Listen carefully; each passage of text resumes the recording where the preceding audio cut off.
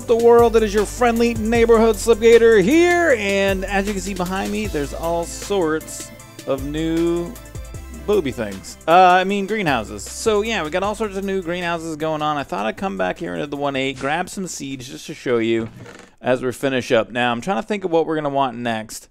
Um, what I've been running low on. I need to get, believe it or not, things like blaze rods. I haven't really run into, or like I don't need diamonds. I don't really need dye or experience. Um, Emeralds I could use. Certus quartz I got plenty of. Magma creams I could use. Uh, yeah, let's grab these. Let's do cow seeds for leather and creeper seeds for gunpowder. So I added a couple more of these guys off camera, and I thought we'd come over to this new guy right here and set it up. So everything should be good to go. If we head down inside, all we need to do is set this guy up for cow seeds, and then set this guy up over here for creeper seeds. And then if we come over here and we squirt these into the system, bam, bam, and then we come up, we should see that these are planting and they will start to be growing. Everything's getting put into its correct spots. All the stuff and things are going good. Let's come over here. You can see now. Um, yeah, just so if you remember from last time or previous time, if we take a look at the chunk borders, it's actually one big chunk in the center here, but then there's another chunk over here, another chunk over there. And since this intersects with the growing area, I've had to put a chunk loader in this chunk, in this chunk, and this chunk, so three. So not that bad. But like over here, for instance, you can see the edge of the lily pads and everything meet up, even though they're kind of right on the edge of this chunk, they're still inside of it. So bam, it's cool. We only need the single chunk loader over there. So let's turn this guy off and then head back in. Yeah, so everything's growing really good. We're doing all sorts of good stuff here. So, all right, when these start to harvest, though, we are going to need to go ahead and set up the export bus to squirt things out. So we don't haven't got that yet. So why don't we, real quick, we'll take this like so. Now, one of the other things that I'm doing here, I just want to get some pieces of essence in there so I can set that export out up. But what we're doing here is we're using this this uh, stuff called fertilized earth. So that should be good right there, and then we'll get some over here as well. So you can see right here, you can't really see. Is there a way I can show you? I can't get my thing on there, but oh, I don't have any in here either. So it's called fertilized uh, dirt. Yeah, fertilized dirt. It's uh, from random things, um, and there's three different things that it's supposed to do. Oh, those are cool little, little creeper faces. Oh, I got a down right here as well. So, all right, now if we just come inside of here, we grab one of these guys, we grab one of these guys, and then we set them in here. Bam. Uh, no. And then bam. Uh, and then everything's going to export straight back into the blue, black, blue, and that takes it back over into the 1.8. So, all right, rad. So the fertilized dirt, what is supposed to do? Somebody recommended that I used it. Oh, by the way, look at how many more of these domes we're going to build. One, two, three, four, five, six, seven, eight, nine. So I'm thinking we may not build nine more. I have an idea. I think I want to try to fit one down in here. I think I'm just going to do some landscaping and fit it in there. We probably do that in this episode. But then I was thinking what we might do is set up, I don't know, I don't think I want to use more islands for this. So what I was thinking about doing is remember if you remember down inside of here, we got all sorts of room. This is a big area. So what I was thinking about doing is maybe moving some of the stuff out of the way and then setting up one of those big planters with everything else down inside of here. So you wouldn't be visible, but you know, I mean, we've got a lot of visible up here. We've got a lot of the aesthetic taken care of. Um, I, I was thinking about maybe one over here too. I could do that, but I'd have to build out this island a little bit. It's not big enough. It needs to be 11 by 11. So same within here. It needs to be 11 by 11. So this is 1, 2, 3, four, five, six, seven, eight, nine, ten. So I'd have to build, like, break it down a little bit. But I could do that. We could do one here. We could do one here. So maybe we will. I don't know. We're going to do that in this episode. But, um, yeah, the fertilized earth, what I wanted to tell you about it, what it's supposed to do is it is supposed to, um, doesn't need water to be fertile, number one. Um, it should increase the growth rate of crops by a factor of three. And if you jump on it, the crops aren't going to be destroyed. Ugh. Which actually we would need to take off all these to see if this actually works. So that is a thing.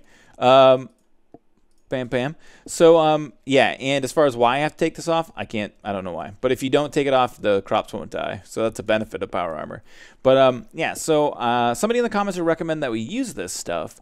And so I was like, oh yeah, you'll use it. I mean, the recipe's not that bad. If we take a look, oh, that's the wrong key. Let's head over. Can we go? Is it you and me, Power Suit? We're doing it.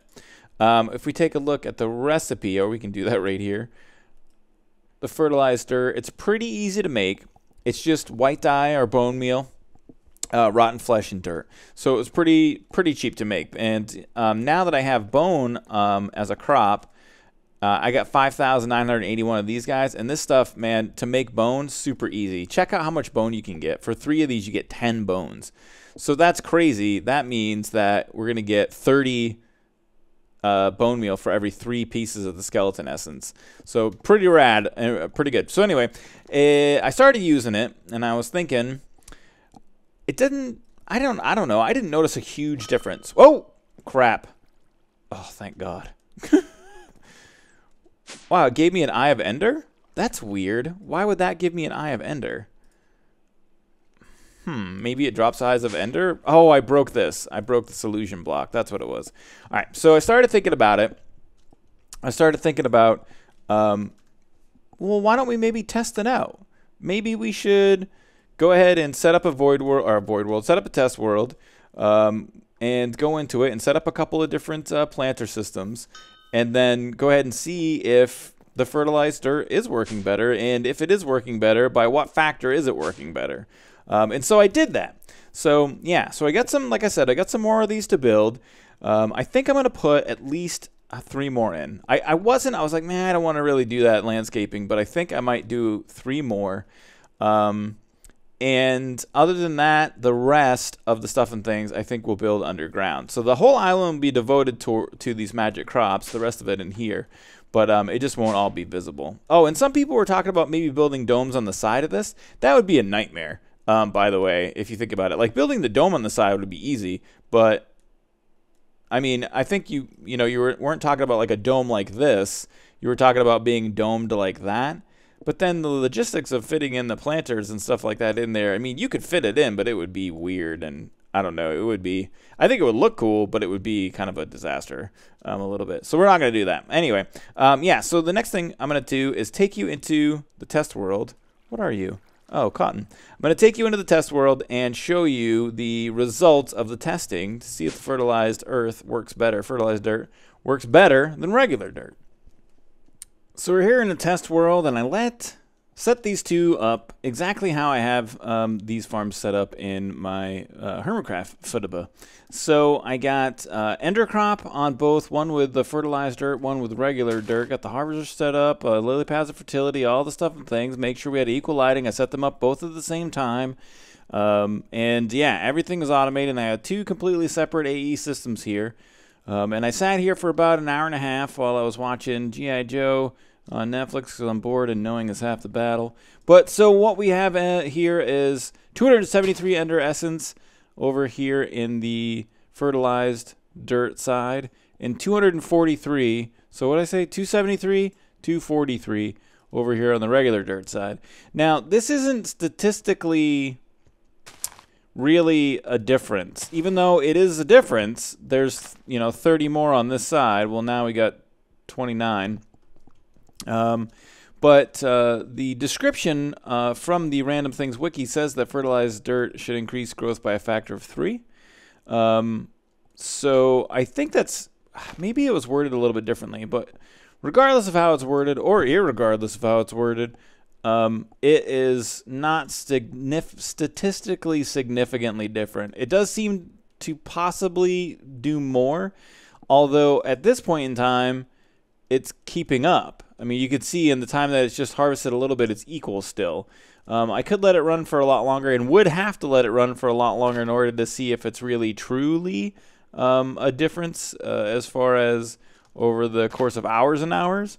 Um, but yeah, so really doesn't seem to work as well as it's advertised to work, but uh, from this small test, it may make a small difference.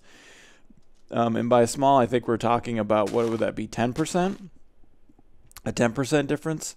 Yeah, right around there. So yeah, that's our findings with the uh, the testing from the test world thingadoodler uh, with the fertilized dirt versus regular dirt. All right, back over at the 1.8, and here's the chest I have all the seeds in, and we're going to use the diamond dolly just to grab that real fast, and we're going to shoot it back up over into here, where I have had, have had, has, have had made some changes. Um, let me go ahead and squirt this over here, and then we'll actually just go back up. We're going to talk about this stuff here in a second. But, um, so I got a couple more done, and this is what I think we're going to do as far as the number that we're going to have built up here. Um, I could probably squeeze another dome in over here and another one over there maybe with a bit more landscaping. But I feel like this is a good amount, and I think it looks really cool at night. Um, I think it's really nice how it kind of has those little light up bits.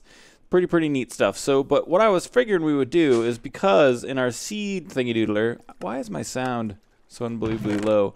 We've got one, two, three, four, five, six, seven, eight more seed sets. So, and I know uh, I got a couple of compliments for not going with the 9x9 design for the planter. Um, but I redesigned this down here a little bit, and I've torn some stuff and things down. Uh, and I got kind of this underneath room set up a little bit differently and tore a bunch of the wiring out here too. So what I figured we would do, um, because I do think it's unrealistic to build eight more domes um, and eight more AE systems and all of that. You know, aesthetically, it's cool. Like it is aesthetically cool. Um, but efficiency wise, I mean, it doesn't cost any more power to do it this way, but it is taking up more chunk loading. It's not quite the perfect setup as far as server resources, um, but small price to pay for some aesthetic coolness. Uh, so what I think we'll do over here is get this all set up. So we got, I got some lily pads. I got eight. I should has nine. Hmm, why is there eight? That's the only thing. You know, it's really too bad that there's not a, re a remote way to check the uh, the um, the crafting monitor because that would really be cool since we have the other remote thingy doodler. Do I have everything? So I just all right. So there's nothing wrong with it. It just didn't craft this last one for some reason. So we're gonna craft one more lily pad of fertility. It's working its thing. It's working stuff and things. It's doing amazing. Uh, we'll grab it once we come up over here. But I think we're going to set this up DMAC's style or Hypno style. Those guys are setting up these up this way. We're going to do just this one like this. So let's go ahead and grab, whoa, a little bit of lags. So let's set up our water. Oh, crapo. Like so. And then we can set up our lily pads. We can grab that last one. Uh, and then in here, what we'll do is set up the planter to do the 9x9 instead. So we're going to need a special upgrade for this. Now let me take a look real quick because I'm not sure exactly what one I need to do the 9x9. Now let me see. I don't wait. I don't see. Oh, here they are. Here they are. So negative one radius. Hmm. Uh, radius increased by 11.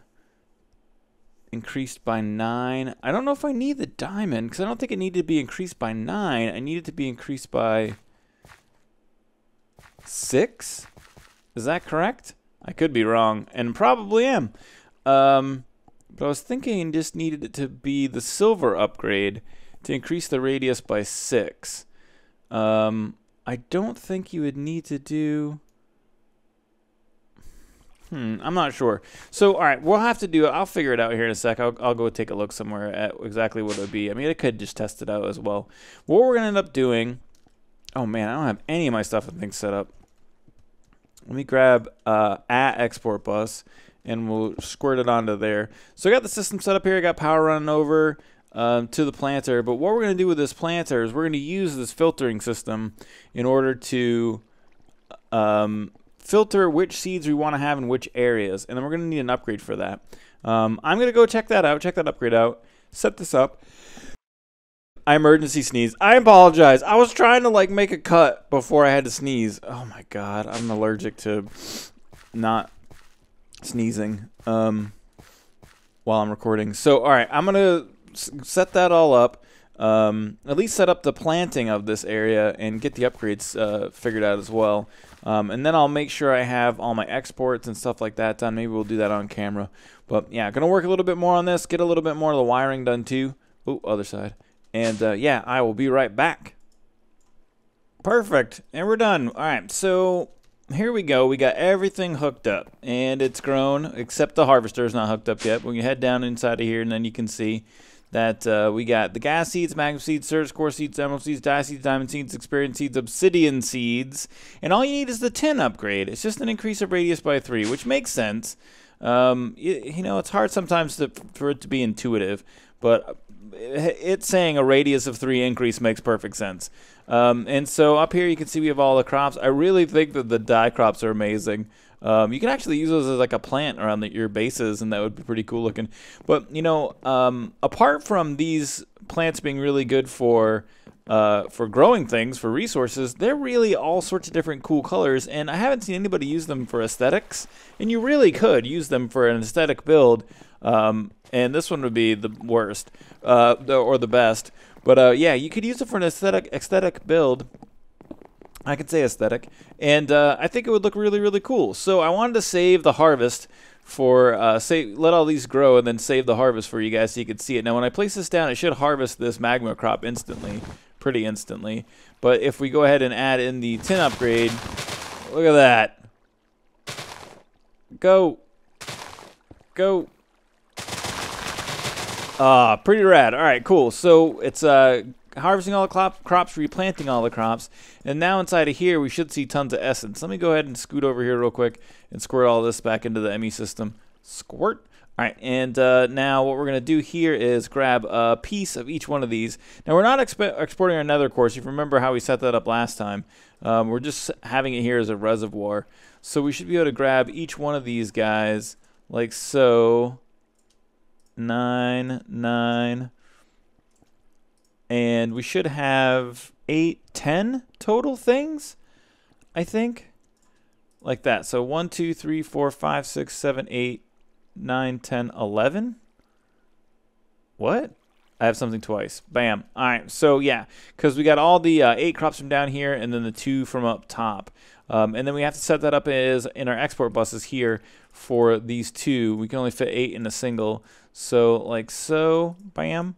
One of them. One of these. One of these. One of those. And then in this guy, we'll set up the last two. And we should see that the ME system is basically empty now. Oh, wait.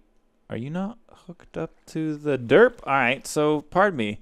One last piece here. Grab some of the ME conduit. And uh, we should be able to squirt like so. And then, after a second, these should all start to export. And we'll squirt these guys in too. And to save on power, I'm just doing single items. Um, but yeah, there they all go back into the ME system over into the 1.8. Um, and it really is a good amount of resources. Now, I'm not exactly sure. One of the things I wanted to check about, um, this is going to be producing. I, it's amazing how this just replaces mob farms almost completely, um, except for the fun of making mob farms. But um, yeah, it just kind of blows my noodle um, how easy this is in comparison to mob farms. Not necessarily as fun or as intricate, but still really cool and a fun project for sure. Um, the other thing that I want to take a look at now, DMAC did this in his video and showed it off, so check it out if you want to see uh, exactly how he did it. But Mimichite is craftable. So I'm making gunpowder, I'm making glowstone, I'm making ghast tears, and I'm making magma cream. Um, I'm not making lapis, but I have a butt ton of it. So I have 105,000 lapis with 846 extra lapis that hasn't been processed in the system yet. Oh, what? Uh, squirt, thank you.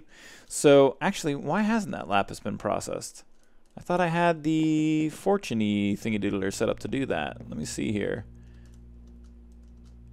I thought I had lapis right there. Is this thing not working again? Oh, I have it turned off? Let's turn it on. I think it should be on now. It's not working. It's not exporting. Why is you no export things? Hmm. So anyway, I'll have to figure that out. It's all hooked up correctly, isn't it? I gotta take a look at my crazy wiring here. Oh, wait, wait, look at that right there. I think that this ME system right here is missing a piece of conduit. Let me take, grab this and see if we start getting it. We should get a bunch of frame lag, a bunch of lag if I hook this up correctly.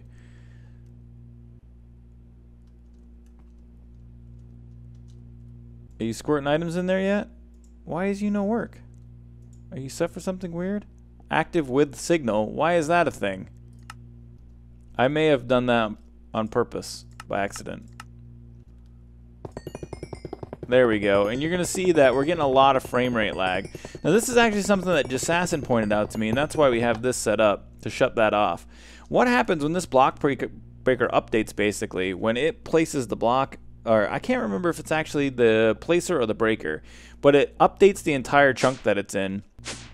And since basically this chunk has a huge amount of stuff and things in it, um, every time I update the chunk uh, by using this system, um, I get mad lag. So you can see here if I'm moving around, I get all sorts of the lags. So what I did, or what uh, Jesse helped me set up, was uh, this little system right here. Um, and it basically just added a gold OR gate with an additional uh, modifier, additional uh, condition here that says red pipe signal on, then redstone signal, and that disables the placer. Uh, and then this guy basically just says if you have redstone, send a red pipe signal.